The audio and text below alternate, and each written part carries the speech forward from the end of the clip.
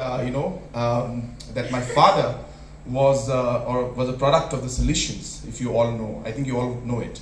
And he has been somebody who was brought up by the Salesians uh, from a very, very young age of like seven years old.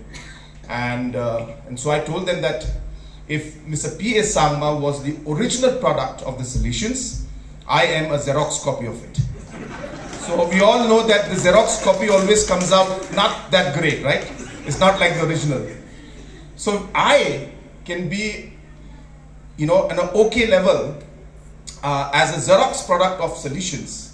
Okay, not an original product, Xerox product. Imagine what you can be.